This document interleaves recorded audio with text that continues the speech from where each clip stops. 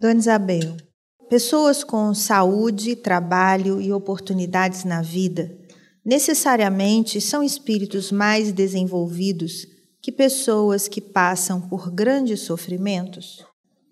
É, são privações que a pessoa passa como, como se fosse um chamamento de atenção mesmo. A gente passa dificuldades sociais, econômicas, familiares, ou de doenças, ou de abandono social. O fato é que ninguém progride sem sofrimento. Quem dera que nós fôssemos, somos chamados por amor e fizéssemos o nosso progresso. Desnecessário seria o sofrimento, o abandono, qualquer coisa que seja. Agora, quem é feliz no emprego, no trabalho, ele fez jus. Ninguém ganha nada de graça, não. É conquista. Deus não dá felicidade para um filho e para outro ele nega. Não é assim. É conquista. Deus dá chance, dá esse mundo maravilhoso onde você pode trabalhar, estudar, ser bom, ser correto, ser justo, ser digno da vida, mas a maioria faz o contrário, não segue a orientação divina. Então, se você fez no passado, você fez, é, foi digno, você foi rico e foi digno, fez bom uso da riqueza, deu de comer a quem tinha fome, cuidou dos pobres, é, dividiu com o pobre, com o sofredor, os seus recursos, você continua tendo direitos de voltar rico e multiplicar aquela riqueza. E multiplica também as suas obrigações com as leis de Deus.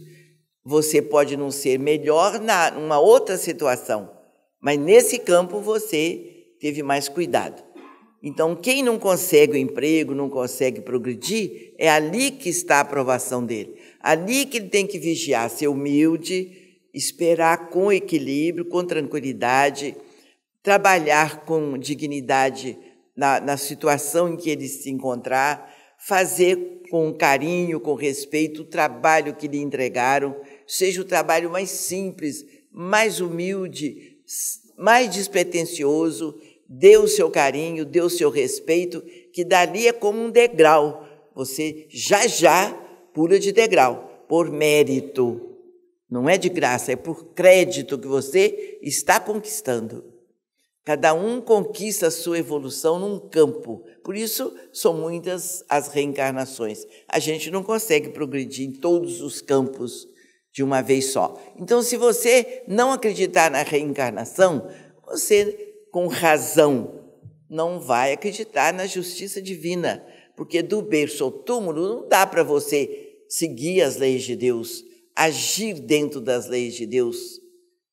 Então, por isso, Deus dá para todos nós quantas oportunidades forem necessárias. Agora, se você perde a oportunidade e o outro não perde, é aí que está o valor de cada um, a diferença. Fulano não perdeu a chance, aproveitou o tempo no bem, na vida reta, no amor ao próximo, no respeito, na dignidade. É isso aí.